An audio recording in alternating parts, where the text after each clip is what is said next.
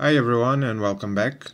So let's test the new AI chat by OpenAI to see if it can help us create custom scripts for Maya.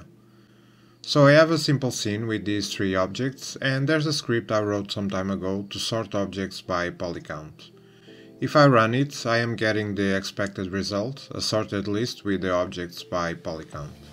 So opening the AI chat website, I used this specific prompt where I had to explicitly write meshes, otherwise it would select all the objects in the scene, including cameras and lights.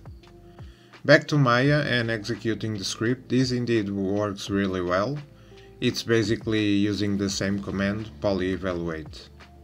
I had to go through two or three different prompts to get this result, but still it's quite impressive.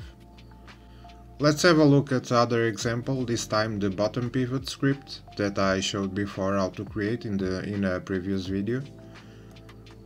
So this is the code we used at the time and it moves the pivot to the bottom center of the objects. These can be very handy for modeling and set dressing.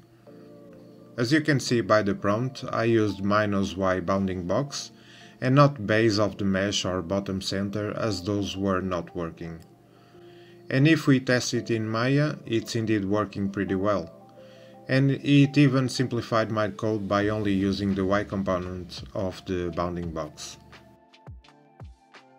So the last we're going to test is a script that creates a random color by UV shell on combined meshes, especially useful for tree leaves it's a bit slow, takes a few seconds, but in the end you'll have a color set that you can feed into a ramp to remap the colors.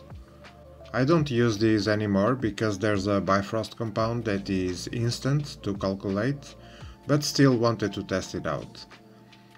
I tried probably 5 or 6 different prompts but couldn't get it to work this time.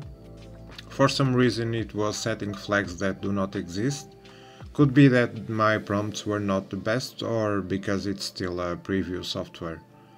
Nonetheless, I still found this to be interesting, as it can help us create at least simple scripts to solve problems.